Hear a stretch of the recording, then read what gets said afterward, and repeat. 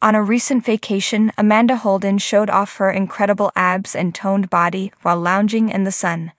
In a candid photo that she posted to her Instagram stories, the 51 year old was seen posing with confidence and revealing her toned and tanned skin. In a candid photo that she posted to her Instagram stories, the 51 year old was seen posing with confidence and revealing her toned and tanned skin. The judge from Britain's Got Talent, with an aviator pair of sunglasses, leaned on the bow of the boat while sporting a two piece string black bikini and gazing out to sea. She stretched out her long legs, revealing her cleavage and muscular abs, while her blonde hair, drenched from the surf, was draped over her shoulder. While vacationing in Greece with her family, Amanda has been taking a well earned vacation from her daily responsibilities at Heart Radio.